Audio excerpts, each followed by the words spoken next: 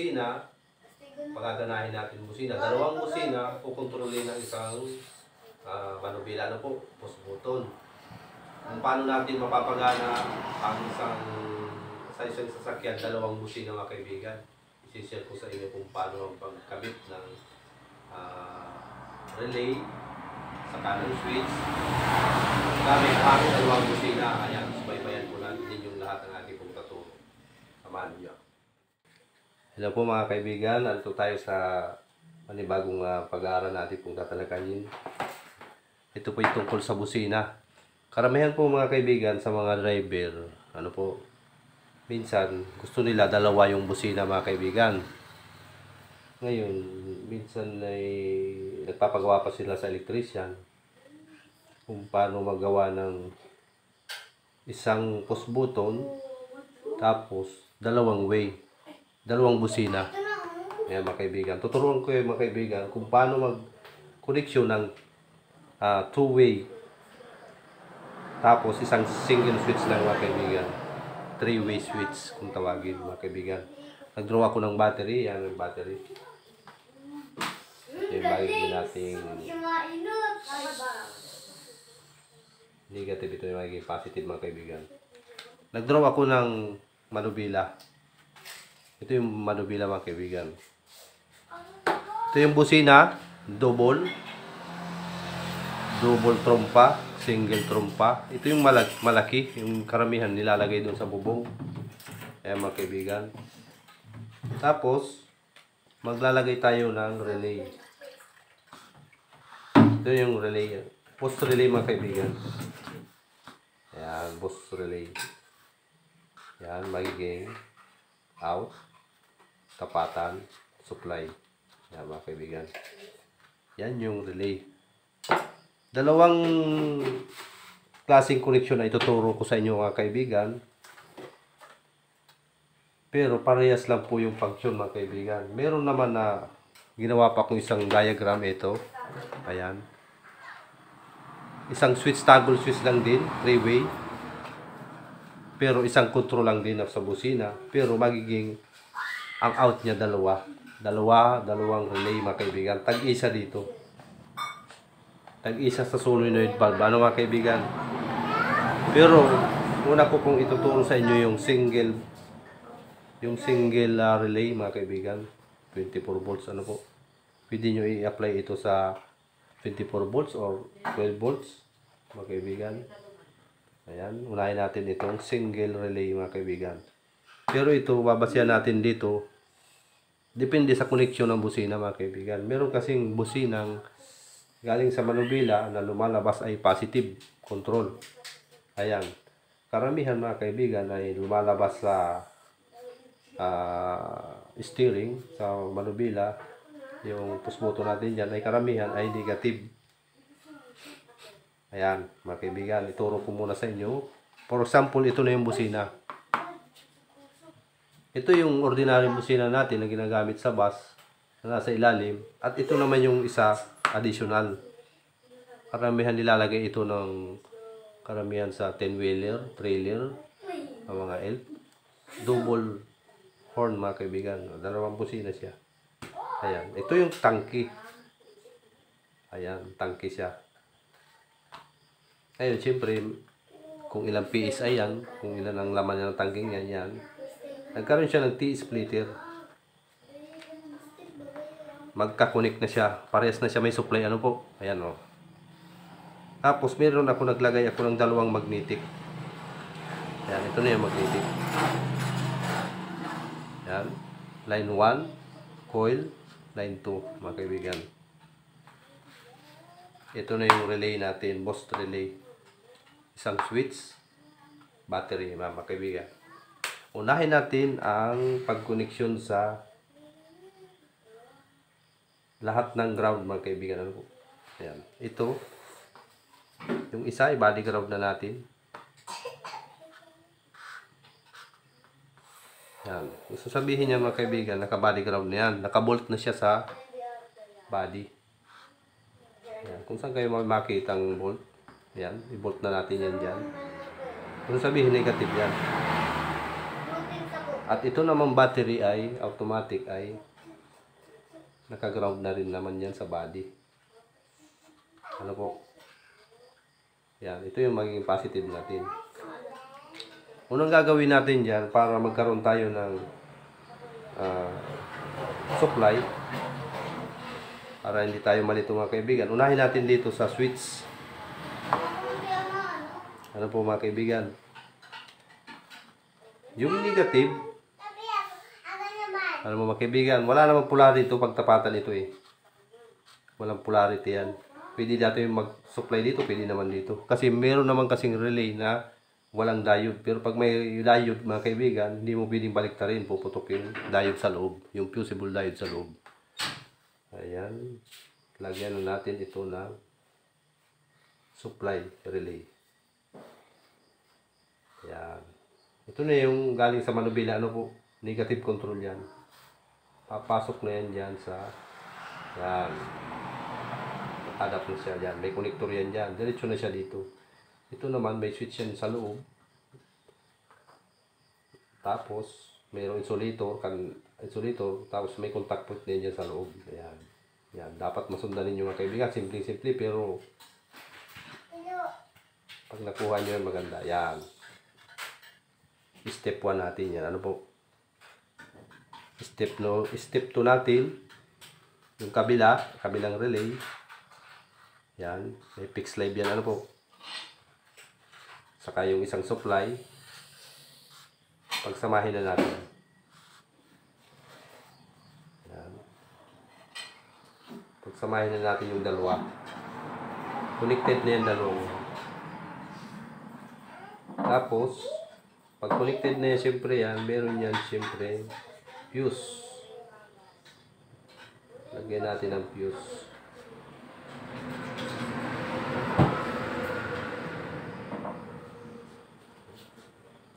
Ito, sa busina kasi mga kaibigan, fixed live na yan. Positive yan. Yan. Ito yung supply ng battery natin. Alam mga kaibigan, supply na natin. Doon natin padali sa likod para hindi nakakalikod. Ayan. Nakuha nyo mga kaibigan, ano? Positive. Yan, tago siya doon sa supply ng relay. Supply. Yan, connection. Siyempre may out yan, dalawa yan. No?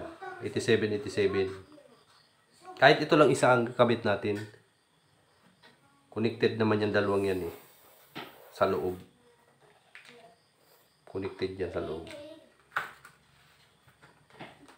Siyempre magkakaroon ito ng out mga kaibigan. Ano? Ayan. Ito naka-body ground na ito. Ano po? Ayan. Naka-body ground na ito. Ito, naka-body ground yung battery natin. Automatic, itong manubila, meron yung contact point dyan. Dikit agad yan sa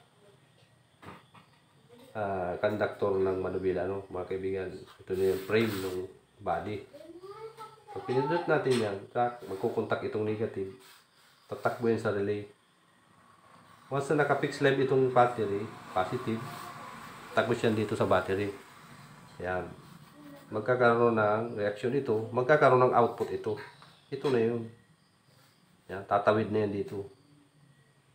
Ayan. Ngayon, siyempre, alin dito sa dalawa ang gusto nating mauna, natutunog, automatic, nakaground na yung isa. Ayan, ganyan kasimple mga kaibigan, three-way. Ito ngayon, switch natin, merong common yan. Yan, common na tinatawag. Pag tinumba natin itong switch dito, for example, ito yung switch. Pag tinumba natin yan dyan, tatama yan dyan. Ayan. Pag tinumba natin itong switch dyan, doon naman tatama. Ngayon, ang supply natin itong relay ay dito na yan, tagos yan dito. Ayan. Common ng switch. Ayan, nasundan nyo mga kaibigan, ano? Gustong sabihin, pag pinindot mo itong busina, magkakaroon ng supply yung relay na negative, naka-fix live naman itong ah, itong kabila na connection.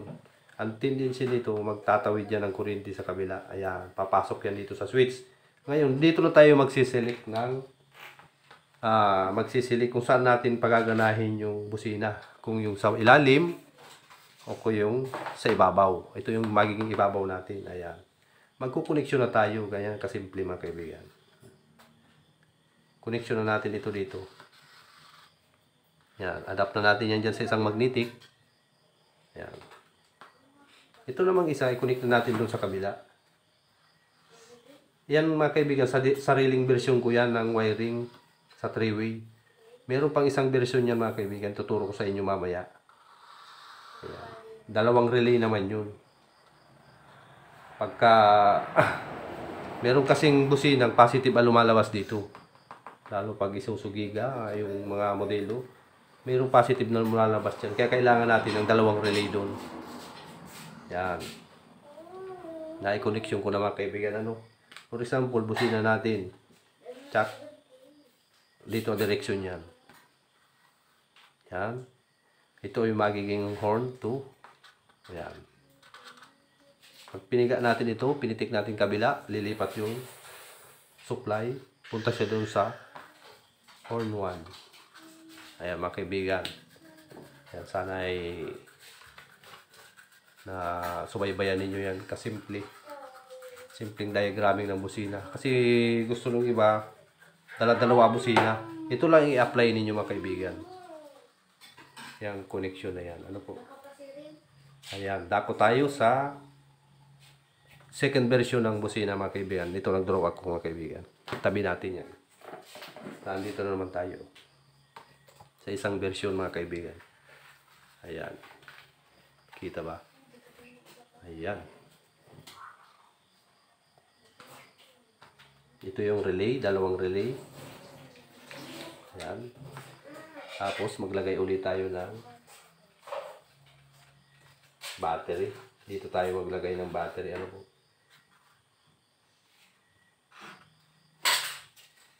Ayan. Ito yung battery.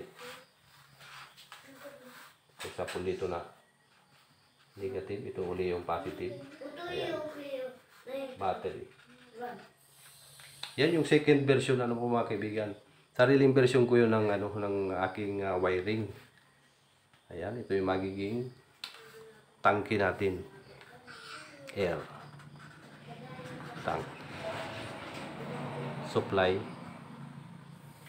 Ayan, ito na yung magiging For example, ito na yung housing. Ito na rin yung magiging housing. Ano mga kaibigan? Ayan, magkaroon tayo na T-splitter. Hose. Meron yan dyan, splitter. T. Connection na siya dyan. Automatic, laging may hangin na yan. Ngayon, magbubukas naman yan dyan, yung solenoid na dalawa. Isa. Yan. Ito na yung solenoid. Lagyan natin yung solenoid valve. Ayan. Magnetic. Ano po? Lagyan natin ng 1, 2. Yan, yung mga koneksyon. Yan. Pagka nagbukas yan, siyempre papasok yan dito, magkakaroon ng reaksyon yan mga kaibigan. Ano? Ito yung tinatawag na ano, na second version ko. Parehas lang po ang function ng kuryenteng magkukontrol dito sa dalawang ito. Kaya lang, mas maganda ito, anong dalawang relay mga kaibigan. Pero ang tatakbo dito sa switch ay yung negative control dito yung pipiga. Ano po mga kaibigan. Oh. Maganda rin ito mga kaibigan. Oh. Sundan ninyo. Una natin susuplayan dyan yung switch agad. Ayan, ito. Lagay natin ito sa common. Yan. Common. Switch yan. Three-way yan mga kaibigan. Toggle switch. Nakaposisyon yan dito. Oh. Yan.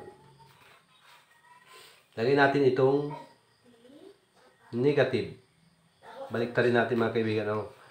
Ito yung gagawin nating supply. Yan. Lagyan na rin natin yung supply kabila. Yan. Ayan mga kaibigan. Pero yung paganahin natin ng tig isang fuse. Mas maganda siguro. Tag isang fuse. Kasi pag dalawang fuse, ay pag isang fuse lang siguro, baka kung mawala isang busina. Ano, pwede natin lagyan niya ng dalawang, isang fuse lang. Pwedeng dalawang fuse, mga kaibigan. Ayan. Connection na natin ito dito. Yan. Siyempre, may positive yan, ano mga kaibigan. Lagyan na lang natin siya ng, kasi kung lalagyan natin tag isang fuse, ano, pwedeng isa lang mawala. Pero lagyan natin, subukan natin lagyan, mga kaibigan. Dalawang fuse. Connection 1, connection 2, ano. Yan. Lagyan natin tag isang fuse.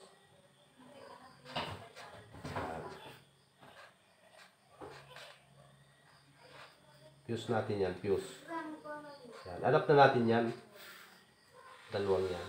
Connection na natin ito sa positive. Yan. Ito na yung positive ng battery. Yan. Automatic naka-ground na ito. Yan. Naka-ground na siya mga kaibigan. Automatic, tig isang fuse mga kaibigan. Mas magandang paka-wiring ito. Magandang kombinasyon yan. Yan. Nakasilik siya dito. Oh. Yan. Pag sinilik mo yan dyan, busina ka dito. Pak, takbo ang negative. Labas ang negative, pasok dyan sa lubong. Yan. Magkakaroon ng supply, meron ng reaksyon. Lagyan natin ito dito sa isa. Ayan. Body ground natin itong isa. Okay na, bumisinin na yung kabila. Select natin ito sa kabila. Pak. Lagyan natin ng arrow. Yan. Lagyan natin ng arrow. Doon, tatagos yan.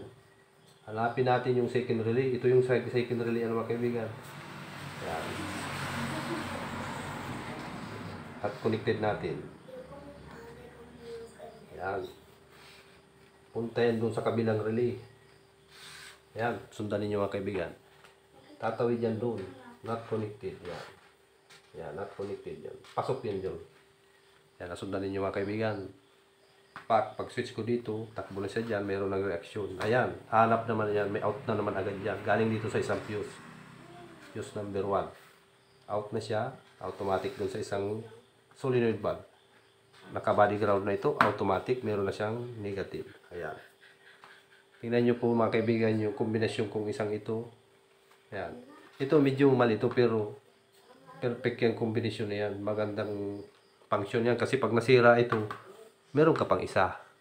Pero dito sa isa mga kaibigan, ang pagkakaiba, ayan. Pag nasira itong isang relay, ano po, ayan, baliktad. Pag nasira itong isang relay, damay yan. Wala ka ng busina sa taas sa kababa, wala na rin. Kasi isa yung fuse mga kaibigan.